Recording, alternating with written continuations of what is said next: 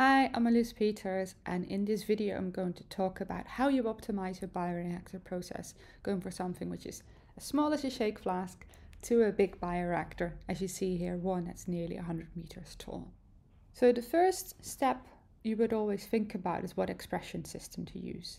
And there are more than just the three that I've mentioned here, but I've just summarized the key ones and some advantages and disadvantages. And the gold standard that people tend to, to, to work with is E. coli because it's low cost, it's got a very uh, fast doubling time of only 20 minutes, meaning you can reach a high amount of biomass in a short time. Now, bearing in mind E. coli is a bacterial cell, so the folding in bacteria versus what we've got in our body is slightly different. So if protein folding is important, then E. coli might not be the one to go for. Then we have yeasts, slightly lower doubling time, but still relatively fast, low costs. And here the folding starts to get a little bit closer to what you would get in mammalian cell lines. Now finally we have mammalian cell lines, such as for instance CHO cell lines, which are well established, where the cultivation process is quite elaborate. This is much higher cost, and as you can tell, the doubling time is much longer. So in essence, you would produce much less biomass. Okay, but here, because mammalian cell lines obviously are similar to what we have in our body, the protein folding will be similar. So particularly for very uh, for certain recombinant proteins, it will be important to use mammalian cell lines just because of that. Now, once you've decided on your expression system, you need to think about what media you're going to use, and then based on that, you need to think about the reactor and the kind of the type of cultivation you're going to use. And a really important aspect to consider is whether your cells are shear sensitive. So plant and animal cells tends to be more sensitive to shear. So that's important later on, like because obviously in your bioreactor you probably need some agitation to mix your nutrients and your oxygen. Um, so the, the impeller becomes quite important. And then also the type of reactor that you use. So I've done a separate video on uh, different reactor types. So starting off with your typical stir tank reactor and then moving towards more bespoke systems. So the stir tank reactor is your, your, your first choice. And then you think about, okay, what other considerations are there that mean that I might have to move to something different? So you will have seen that I've previously talked about airlift reactors for shear sensitive systems, or for instance, alternative systems when you work with wastewater when you have a really, really high amount that you need to process. What you then also need to consider is the operating method. So an operating mode continuous is very good for like very large volumes because it tends to be more cost effective. Uh, and then you have batch and also semi-batch and you might also consider separately a perfusion reactor. So all of these things you need to think about in the beginning uh, before you decide on your bioreactor. If you think about a bioreactor in general, what, what, what should it do? And then it kind of comes back to the parameters that I mentioned before. So in essence, your reactor, like our, our bodies are bioreactors, they need to provide optimal conditions for growth. So it means they need to make sure that whatever cells or enzymes that you might be using are happy to under, operate under these conditions. So then it becomes important to control the, the temperature and the pH especially when you work with high energy systems such as E. coli, where they produce a lot of heat when they grow. It's important that you remove that heat from the system. Uh, and then also the dissolved oxygen is important because if certain cells don't get oxygen, they will die. Uh, and the nutrients, which is often something like glucose. We need probably some method of agitation to supply these nutrients, and particularly the bigger the reactor, the more important this becomes uh, because you don't want to have any dead zones in your reactor. You need to make sure the mixing is sufficient. And then finally, the supply of oxygen. If you have a small shake flask, then simple agitation might be sufficient. Uh, if you work with a bigger bioreactor, then the sparging becomes equally important because you need to add an extra, extra oxygen. Well, let's consider some different phases in a bioprocess. Now, first of all, you would start with a pre-culture where you inoculate your bioreactor. And what you want to do here is you, if you look at cell growth, we always thought like for like a short lag phase where nothing is really growing. Then we get a log phase where we get exponential growth, and then it plateaus off. And finally, it will go down because you will get cell death. Now, as you can imagine, you want to keep that lag phase as short as possible because you want like almost instantly for your cells to start growing. When you are in the log phase, um, it you probably want to be around that phase uh, because there you wouldn't have imagine if it's kind of stabilized it, it means that the cells are growing at the, sec- the same rate as that are dying so that might mean that the quality might differ a little bit if you have cells that are very prone to mutation, you might see mutation that start to occurring so normally you want the harvest to be somewhere in the log phase and in order to make sure we are in that phase it's important that you check the biomass in your reactor and I've mentioned before that this is not such an easy process but the easiest to do this is to look at the optical density. And the optical density, as you might know, like usually this is done at around 600 nanometers. If you've got lots of cells, imagine when you're baking yeast at home, if you put that in water, it will look slightly turbid. So you can use this optical density to, to estimate the concentration which is in your reactor. And that optical density is important to give you an idea of the amount of cells, and then you can roughly work out in what phase you are. Now, this doesn't really tell you about cell viability directly, but you could use other methods such as looking at the dissolved oxygen or monitoring the carbon dioxide concentrations to see what's happening. Now, starting from you inoculate your bioreactor, you set it up, then I said the monitoring and the control is important, and finally you also have the harvesting and you will have some downstream processing as well uh, because often you would need to purify your system. But in the, the last one, I'm not going to go into too much detail today. Looking at your bioreactor system, a key thing you want to consider is agitation. Um, you don't always need to use an impeller. Um, so there are particularly very shear sensitive systems where uh, this is not used or where you use, for instance, some kind of magnetic system or maybe like an airlift reactor.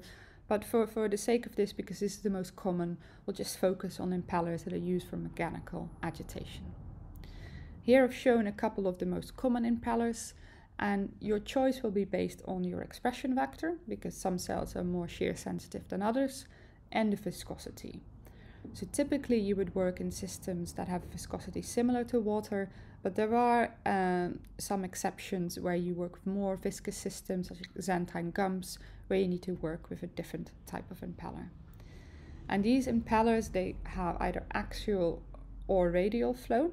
So one is more suitable, the radial flow, for generating high shear. The other one will lead to uh, less shear, but might have a lower power consumption. So these are important things to consider. The two most common ones, the first one is the Rushton turbine, especially for fermentations and microbial applications which generates very high shear. So that's why it might not be suitable for all cell types, but leads to very good oxygenation. The pitch side blade impeller is used usually at lower RPMs, particularly for cell culturing, uh, and leads to much lower shear stresses. But if you can only tolerate a little bit of shear, then people would probably move to a marine type of impeller. Now this one has better mixing than a Rushton turbine, so this is why it's more often used for cell culturing. Now when you then start up a reactor and you've now decided on what impeller type you're going to use, the first thing that you really need to consider is the sterility of the system, and this is a big problem in bioreactors. So when you inoculate your culture, uh, you would need to think about what kind of value you're going to use, but make sure that all the equipment that you use in it needs to be sterile and the cleaning in between different batches is very important. So you would take your pre-culture from, for instance, a shake flask and you would inoculate it at a known OD600 value. And as I mentioned before, this optical density would give you an idea of um, the amount of cells that you've got in there. And based on the expression vector for E. coli, this is probably quite well known, you would need to know like what you need to start with which are known values. And then you would monitor this along as the process goes. In order to follow what happens in your reactor, you probably want to follow some principles which are called quality by design. And if you would follow a normal production chain, you would have like a bit of product quarantine where you would do extensive quality control analysis and you would check whether your pharmaceutical product would be suitable to be used by customers. Now, obviously, this product quarantine will take a long time, so you would have big delays in there. When you use quality by design principles, you wouldn't have this product quarantine phase. Instead, you would have a responsive process where you would look at certain critical process parameter that are actually involved in the product quality. Now, imagine if you've got a pharmaceutical product that the regulations are more strict than something which is just traditionally produced in a chemical reactor.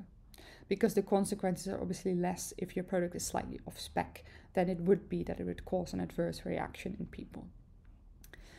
Now, which means that when you start your process, you need to have a good understanding of what uh, critical process parameters there are. So before you do the scale up, you want to know what you need to control, and you also need to know what window you are allowed to tolerate before it negatively impacts on your product quality. And often these are a lot of parameters, so you might want to use some modeling principles in order to cut it down to just the key core parameters that are important. Now, in order to figure out what these critical process parameters are, you probably want to do some initial experiments either in very small well plates or in shake flasks. So think of, for instance, something where you want to look at what the influence of the pH of the temperature is. That's something that you can typically do on this really, really small scale. Now, normally before straight going to the big system, you want to look at some pilot scale data, and this is more for the process development stage, where you look at least at a much bigger scale, hundreds or thousands of liters, before you go even higher than that. Uh, and here you would look at seeing whether you can develop some kind of model and see, for instance, what happens, particularly when you look at the oxygen transfer. This is something that will change a lot going from something which is a shake flask to a bench scale system. What is important to note that when you scale up, the physical parameters always change, they never stay the same. So you can use different strategies, and I've mentioned here some of the key ones, which all have their own advantages and disadvantages. Uh, but the one that's most often used at the moment is the impeller, uh, the power consumption of the impeller over the liquid volume, which is somewhat related to the KLA, so to the, the mass transfer in your reactor. What you will need to know is that all of these when you start using these principles, you will need to change certain parameters. Now, things that are important are, for instance, the mixing and oxygen transfer. So, things that you can change when you do the scale up are, for instance, changing the stirrer rate, uh, aeration. You can also maybe enrich oxygen if you want to, particularly when you look at uh, E. coli when you have a very high density. Uh, and you might want to look at, at a stage where you start to get more E. coli to start enriching the air or use pure oxygen. And finally, then the heat transfer. So there are some uh, cell cultures, again, looking at E. coli, which has a very uh, low doubling time that will generate a lot of heat. So these are all things that you need to consider. So it gives you here in this, very brief slide that talks about what are the advantages, what are the weaknesses, and what's kind of the overall impact. So in essence, what it's telling you is that none of these strategies is ideal, and you really need to bear that in mind. That bioreactors are quite complex. It's always a trade-off between two different properties. Now here's a short summary of what I've discussed. The single most important thing that you need to decide on is what expression vector to use because that will heavily influence other decisions that you will make, including, for instance, what impeller you want to use if your system is shear sensitive, what media, and if you can use a simple stir tank reactor or whether you need to go to a more sophisticated design. The amount that you're going to produce and the costing of the product that you have will have an influence on the operation mode. So I haven't gone into detail, but fed batch might, for instance, be important if you have a longer residence time. So also bear that in mind when you select your operating mode. When you start your process, you want to do the initial inoculation and you want to know do that at a known optical density. So knowing exactly how much goes in and depending on the system that you use, you want to pick a different optical density. To ensure that you have consistent quality of your products, you want to make sure that everything is sterile and that you also keep an eye out on how the growth occurs. Because as I mentioned, if you go to certain, for instance, we want to look at this kind of log phase because when your growth starts to stabilize, you might not have consistent quality because also cell death starts to occur. If you start off with a shake flask and then you might go to like a bench scale reactor, the scale up process is not that easy. So oxygen transfer and mixing are always going to change when you start scaling up your bioreactor. And actually nowadays you see more of a trend going towards smaller reactors, but having more of them in parallel because it is easier to control and also because we're going towards precision medicine for pharmaceutical products. So hopefully this very short video has given you some insight into how you optimize your bioreactor systems and what considerations you need to make along the way. Please have a look at a bioreactor process playlist in order to look into more detail at certain concepts such as for instance control and scale up processes.